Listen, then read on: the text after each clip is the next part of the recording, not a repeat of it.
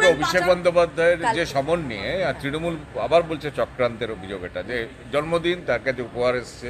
ডাকার তো কোনো প্রশ্নই নেই। ভিতরে ঢোকানো দরকার। এত বড় প্রভাবশালী লোক যাকে বাইরে রেখে কখনো ইনভেস্টিগেশন হতে পারে না তাকে কাস্টডিতে নিয়ে এই রাজ্য থেকে মামলা অন্য রাজ্যে সরিয়ে নিয়ে গিয়ে যদি নিরপেক্ষ বিচার তদন্ত করতে হয় তাহলে ওকে কাস্টডিতে নিয়েই তদন্ত করা উচিত। এটা তো আমাদের বক্তব্য বিজেপির বক্তব্য। কিন্তু উনাকে ইনভেস্টিগেটিং এজেন্সি অনেক সময় দিয়েছেন, অনেক মানে কোর্টে লিগাল ব্যাটেল করার সুযোগ দিয়েছেন। উনি একাধিকবার লিগ্যাল ব্যাটেল করেছেন এবং লিগাল ব্যাটেলগুলো লোয়ার কোর্টে হয়নি হায়ার কোর্টে হয়েছে, ভারতবর্ষের সর্বোচ্চ আদালতে হয়েছে। এবং সেখানে উনি লিগাল ব্যাটেলে ফেল করেছেন, তাই উনি ইনভেস্টিগেশনের সামনে উপস্থিত হতে বাধ্য হচ্ছেন। সম্ভব হয়েছে এই জন্য যে ভারতবর্ষের প্রশাসনিক প্রধান হচ্ছে নরেন্দ্র মোদী। তিনি কিছুদিন আগেই বিজ্ঞান ভবনে একটি সিম্পোজিয়ামে এজেন্সিকে বলেছিলেন, দরকার হলে এক লক্ষ যুবক, যুবতীকে আমি রিক্রুটমেন্ট করব, কিন্তু দেশের কোনায় কোনায় যারা গরিব মানুষকে প্রতারিত করে এই ক্ষমতা ব্যবহার করে দুর্নীতি করছে, তাদের বিরুদ্ধে আমি ব্যবস্থা নেব।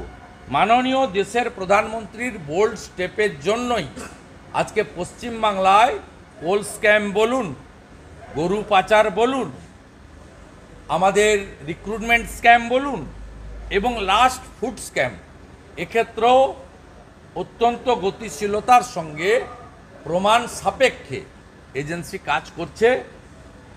আমরা পশ্চিমবঙ্গের লোক আশাবাদী এবং গত কয়েক সপ্তাহে এজেন্সির কাজে পশ্চিমবঙ্গের মানুষ উৎসাহিত যে কান তো টেনেছেন মাথা কবে ঢুকছে? সার্বিকভাবে অভিষেক বন্দ্যোপাধ্যায়কে আগামীকাল যে শিক্ষা দুর্নীতি মামলায় তলব করা হয়েছে এই বিষয়ে কিন্তু আপনার প্রিমিসেসে পুলিশকে দিয়ে মাইক নিয়েছে। ডান হাতে ঘড়ি বাম হাত জিন্সের পকেটে ঢুকিয়ে সিজিও কম্পাসে দাঁড়িয়ে এক ঘণ্টা ধরে নরেন্দ্র মোদী থেকে শুভেন্দু অধিকারী।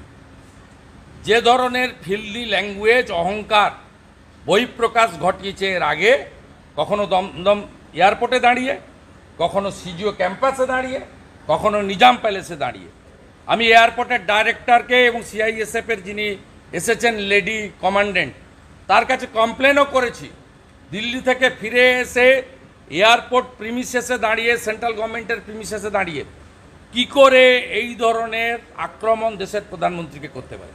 এটা যেন না হয়, এটা যেন না হয়, আপনারা রাখবেন কি ছাড়বেন?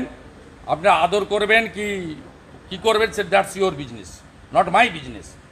তা আপনার প্রিমিসেসে দাঁড়িয়ে দেশের সরকার এবং দেশের প্রধানমন্ত্রীকে যদি আক্রমণ করে, নিশ্চিতভাবে আমি অ্যাপ্রোপ্রিয়েট জায়গায় আমার অবজেকশন জানাব। এর সুপ্রিম কোর্ট, কলকাতা হাইকোর্টের সিঙ্গেল বেঞ্চ ডিভিশন বেঞ্চ আবার সুপ্রিম কোর্ট, আবার সংশ্লিষ্ট বিচারপতির কাছে ফিরে আসা এবং এটা শুধু একটা কেসের ক্ষেত্রে নয়, একাধিক কেসের ক্ষেত্রে coal scam, Leaps and Bounds এবং টিচার রিক্রুটমেন্ট একাধিক কেসের ক্ষেত্রে উনার ইনভেস্টিগেশনের জন্য মহামান্য উচ্চ আদালত এবং উচ্চতর আদালত দুটোই ক্লিয়ারেন্স দিয়েছে এবং দুটো আটকানোর জন্য উনি ভারতবর্ষের এবং পশ্চিমবঙ্গের স্বনামধন্য লয়ার ব্যারিস্টারদের নিয়োগ করেছিলেন।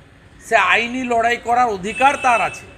কিন্তু এটা যদি চক্রান্ত হতো তাহলে যদি সদি চক্রান্ত বলে থাকেন ওরা তাহলে তারা কাকে ইঙ্গিত করছেন? কলকাতা হাইকোর্টের মহামান্য সিনিয়র বিচারপতিদের ইঙ্গিত করছেন? না সুপ্রিম কোর্টের মহামান্য বিচারপতিদেরকে ইঙ্গিত করছেন? তারা সরাসরি বলুন যে অভিষেক ব্যানার্জির বিরুদ্ধে চক্রান্তকারী কারা?